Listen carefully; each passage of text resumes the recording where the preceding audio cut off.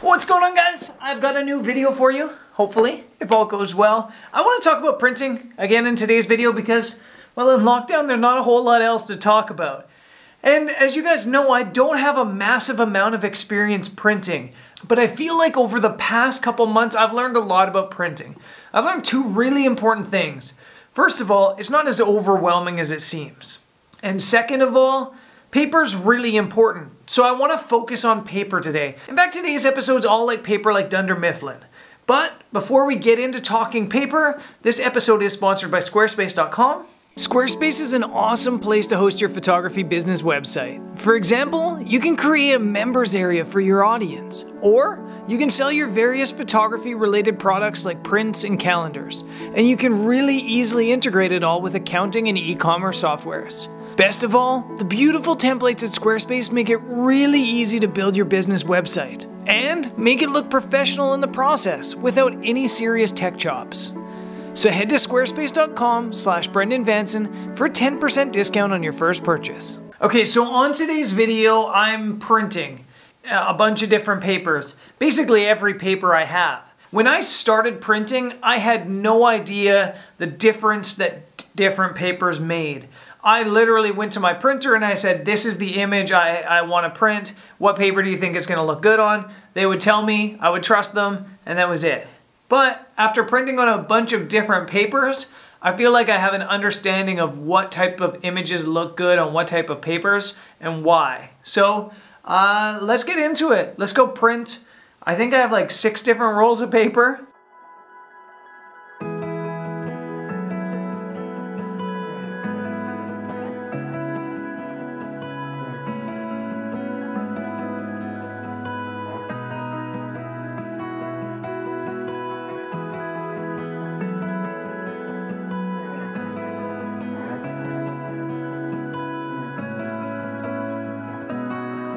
Okay, so I've printed on five different papers. I probably have like seven, but some of them are pretty similar. So I've done five, uh, but before I get into showing you the, the prints and kind of the differences between them, I wanna talk about some very basic things about paper and printing. The first thing is the weight of the paper. The higher the GSM number, the heavier the paper is. It doesn't necessarily mean it's thicker, although it usually does it can be more dense and it can just be a heavier paper. So basic paper, this is like the paper you get at a, I don't know, like a, for your regular printing at home. This is like 80 GSM, I believe. Then if you move on to things that are a little bit flimsier paper, like movie posters, they're around 150 GSM. Magazine covers and flyers and stuff like that around 210. And then we're really starting to talk about photography paper at about 270, 280. Most of the really good photography paper is around 310. Then if we get to like 350 to 450, we're talking cardstock, things for business cards or postcards, stuff like that, really, really heavy paper. So yeah, this is like 80, this is 270, so this is where paper is starting to get, starting to get photo worthy, if you will. Now the next thing you need to think about when doing photography printing is the glossiness of the paper. And really it comes down to two things, either glossy or matte. Matte means it's kind of a flat finish. It doesn't have any shine, whereas glossy has the shine, and I've got this harsh light on me so you can kind of see the shininess to it. It's almost reflective. In fact, let me point the light at me a little bit more so you can see even better. I'm sorry about the harshness, but I think it'll just make this less complicated.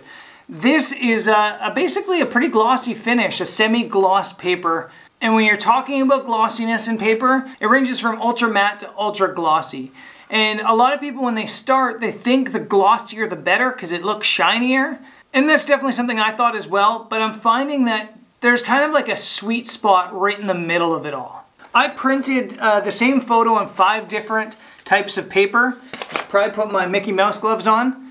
And they're not just different like glossinesses and GSMs, different weights. They're different types of paper altogether. Let's start with a basic paper. This is actually called an ultra white. This is from Hahnemühle. In fact, mo most of my papers are from Hahnemühle. This is a matte fine art paper. And when I was looking for papers, I wasn't interested in this at all because I've never been a fan of matte. most of my images are really poppy.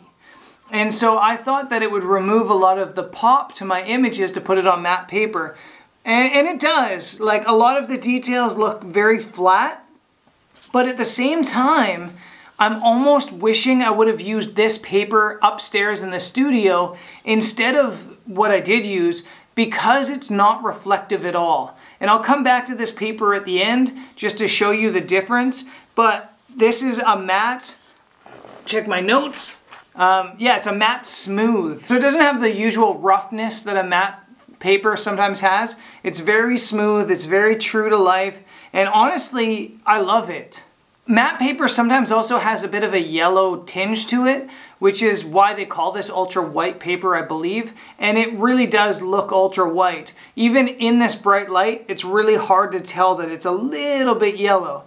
But overall, I love this paper and I'm gonna come back to it. When I started doing photography, I thought that the like classy thing for photos was canvas.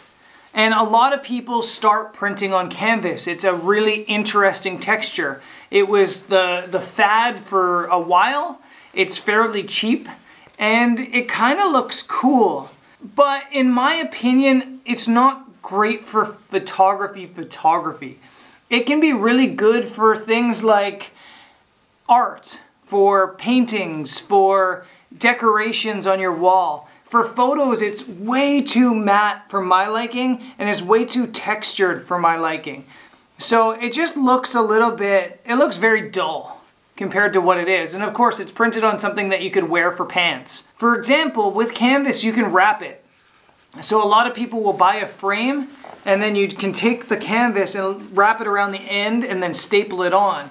It's very, um, I don't know the word, elastic. So you can spin it around you can pull on it. You can't really rip it. It doesn't rip. It's a very durable fabric. So if you're trying to put some art somewhere that it needs to be a little bit more durable, canvas is a really cool thing to do. And I'm not knocking canvas at all. I actually have printed on canvas that Jody and I are going to be using in our house as art. It just needs to be the right sort of thing. Uh, the third paper is an ultra glossy this is Baryta 350 GSM paper. It's very, very glossy uh, and it's a very heavy paper. I bought this paper because I wanted to um, print postcards on it. I thought it would look really nice on postcards. It's very, very bright. It's very, very punchy. And it's heavy enough that it can support postcards. I think most postcards are printed at about 350 GSM what I'm learning with printing is when you go really glossy like this, it looks like a photo. It almost looks more digital.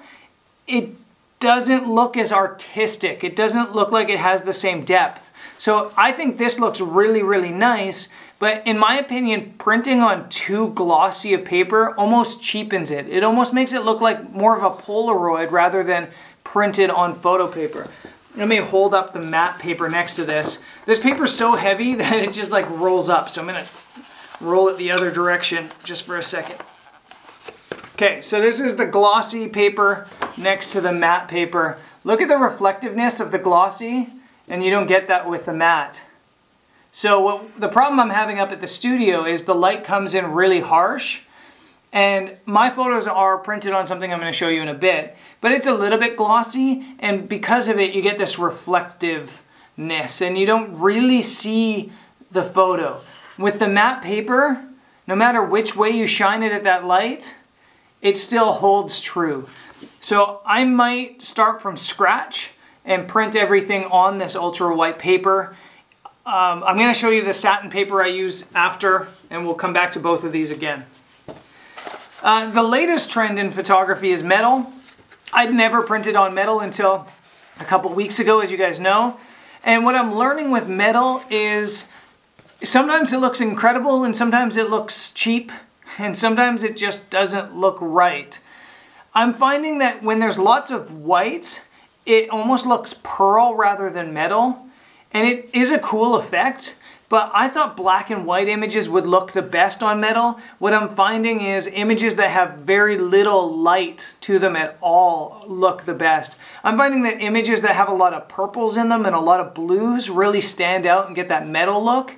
A lot of really grayish tones look pretty good as well. Uh, so an image like this really works on the metal because you have the purple in the sky and the textured blues in the water. And the metal really holds texture really well. It gives really, really nice depth to the image. So metal's a cool thing, but I'm only going to be printing on metal for certain images. And those are images that don't have a whole lot of whites going on, maybe some astro stuff. You know, uh, a couple videos ago or maybe last video, I posted a video with an astro photo I took on metal. It looks really, really pure on the metal. And in my opinion, that's the goal of printing is to try to make the image look pure. Sometimes metal looks really unpure and sometimes it looks really pure. Sometimes it works, sometimes it doesn't. Uh, there's certain papers, like the next one I'm going to show you, that kind of works on everything. Metal definitely doesn't work on everything. Definitely test on metal before you print a massive version of it. But yeah, this image kind of works. Again, that's glossy. Look at that reflection. Metal is ultra, ultra, ultra reflective. This metal paper is via the Notes 310 GSM. When I got metal paper, metallic paper, I actually thought it was like almost metal. It's not, it's paper. And you guys are gonna kill me for doing this, but it's paper. It rips. Um, you know, it's not metal. It's like a metallic finish on the edge of the paper. Sorry about that. Um, finally, this is the, the paper I print on um, as um, it's been recommended to me by basically every printer I've ever used.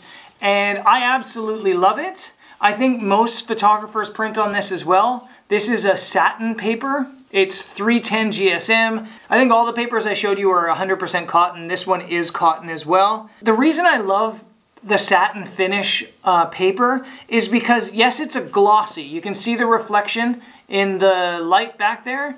It is a glossy but it doesn't have the cheapness to it that the glossy does. It looks very very true and has so much depth to it. So you kind of get that like true finish of matte without it looking too flat and you get that punchy look of glossy without it being too glossy. So I think that if you're looking for a safe paper that you can use on anything, go for this. Go for the satin. If you do a lot of nighttime stuff, go for a metallic. And if you do a lot of portraits, I think glossy looks really, really nice on portraits. Although so does matte. So um, this is a very, very safe paper, the satin um, 310 GSM. I'm going to show it to you next to, this is the glossy. You can see they're both glossy, but one's definitely more glossy than the other. I don't know if you can actually tell. Uh, in person, the one this is the super glossy, this is the satin glossy. In person, this one looks like a Polaroid picture, whereas this looks like a piece of printed art. Um, next to the ultra white, this is the difference I'm talking about. When I hold both of these up, it, they don't look much different, in my opinion. In fact, the, the ultra white maybe even looks like it holds the color a little bit better, even if it's not as punchy. But up in the light, it doesn't reflect nearly as much. The paper I probably am gonna start using more often is this matte ultra white from Hahnemühle. If I have a recommendation on today's video, when it comes to paper is experiment. And one of the great ways to do it is most paper companies offer a photo pack, like a sample pack. All the papers here are Hahnemühle. I do use non-Hahnemühle papers every now and then. Hahnemühle has a, a, sample pack and you can get a matte sample pack, you can get a glossy sample pack, and you can get a photo pack that's a little bit of everything, I believe. Those are really good options and they're not that expensive. It's about 30 euros to get a sample pack. You get two or three uh, sheets of everything. And that's my recommendation because everybody has different likes when it comes to how they want their photos to look. I want my images to feel real. I want them to feel pure. I want them to feel uh, like they have nice depth to them. And I want to keep that wow factor.